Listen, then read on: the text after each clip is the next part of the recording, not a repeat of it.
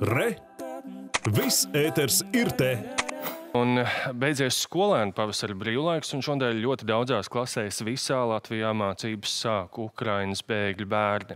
Skolas mēnesī saņems 257 eiro par katru skolēnu no Ukrainas, kā arī vienreizēji 50 eiro pabalstu individuālo mācību līdzekļu iegādēji.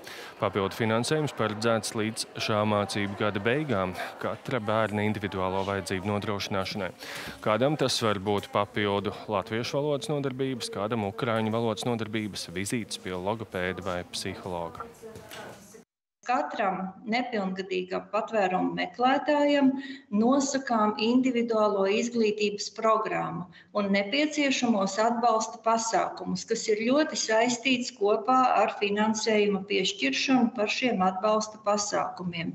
Individuālajā plānā mēs tiešām katram skolēnam paredzam to, kas ir nepieciešams. Ja, piemēram, mēs zinām, ka latviešu valoda ir nepieciešama ikvienam, tad varbūt, kādam skolēnam skolēnam ir nepieciešama matemātika papildus, kādam tā būs ukraiņu valoda, ja mums būs ukraiņu valodas skolotājs. Pat kādam varbūt tā ir māksla, mūzika un tas ir sports. Papildu atbalsts skolēniem no Ukrainas paredzēts arī privātu skolās.